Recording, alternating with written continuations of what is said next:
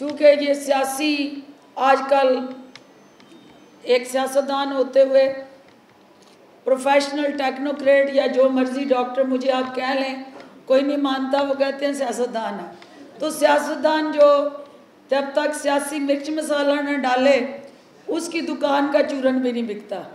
تو ہمیں آج کے اس پروگرام سے، چونکہ شہباز شریف صاحب لاپتہ ہیں اور خود ساختہ مفروری اختیار کی ہوئی ہے۔ اور آج انہوں نے پارلیمنٹ کے اندر نامینیشنز کر دی ہیں۔ پارلیمانی لیڈر تبدیل ہو گیا۔ چیئرمین پبلک اکاؤنٹس کمیٹی بدل گیا۔ تو اس کا مطلب یہ ہوا کہ عمران خان کا بیانیہ جیت گیا۔ اپوزیشن کی وہ دلیلیں ہار گئیں، جس کی بیس پہ اپوزیشن نے پورے چار سے پانچ ماہ پارلیمنٹ کو یرغمال بنایا کہ صرف اور صرف ہم اس وقت کمیٹیز کے اندر آئیں گے، ممبران بنیں گے یا چیئرمین بنیں گے جب شہباز شریف کو آپ لیڈر آف دی اپوزیشن اور پبلک اکاؤنٹس کمیٹی کا چیئرمین بنائیں گے۔ ہم نے ان کی ضد ہٹ درمی اور انا کے آگے پاکستان کے عوام کے مفاد کو مقدم رکھتے ہوئے، مانتے ہوئے اس ضد کو مانا اور آپ نے دیکھا کہ آج وہ لوگ جو پاکستان کی پارلیمنٹ کی اس ساکھ کو داؤ پہ لگا کے پبلک اکاؤنٹ کے چیئرمین بنے، پبلک اکاؤنٹ کمیٹی کے، آج وہ لنڈن میں خود ساختہ جلا وطنی کا اعلان کرتے پھر رہے ہیں۔ اور اپنی جگہ اپنے جانشین نامزد کر رہے ہیں۔ تو جانشینوں کی فوج سے آپ کے توسط سے صرف ایک ہی سوال ہے میرا کہ اب ترجمانی آپ کس کس کی کریں گے؟ جو لیڈر آف دی اپوزیشن ہے وہ لاپتہ ہیں۔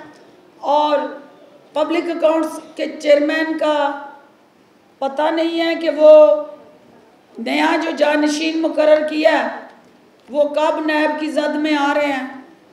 شاہدہ خان صاحب اور خواجہ آصف صاحب آلریڈی نیب کی پیشیاں بھگت رہے ہیں۔ تو میری صرف ایک ہی اپیل ہے کہ ہم نے سب نے جو یہاں بیٹھے ہیں، پاکستان کے عوام کی عدالت میں جواب دینا ہے۔ پاکستان کا ٹیکس پیئر کا پیسہ حق حلال طریقے سے آپ کی فلاح بہبود پہ خرچ ہونا چاہیے۔ آپ کے مفاد پہ خرچ ہونا چاہیے اور جو ایک بھائی فرار ہو چکے دوسرے بیماری کی آڑ میں فرار کی تیاریوں میں ہیں، میں ان سے صرف یہ کہنا چاہتی ہوں کہ اس عوام کو گمراہ کر کے، ان کو ورغلا کے، بیوقوف بنا کے آپ چلے گئے ہیں۔ آپ نیب کی عدالتوں میں آ کے اپنی سیاست کو بچائیں، سوالوں کے جواب دیں، کیونکہ سیاستدان ہمیشہ عوام میں جینا اور عوام میں مرنا پسند کرتا ہے۔ وہ محلوں میں جی کے، کیونکہ محل کے اندر لنڈن کے پورے سائش محلوں میں جو جی تو لیں گے، لیکن عوام میں وہ سیاسی طور پہ ختم ہو جائیں گے۔ جو لوگ عوام میں جیتے اور مرتے ہیں، وہی زندہ رہیں یا مر جائیں، عوام کے دلوں میں ہمیشہ زندہ رہتے ہیں۔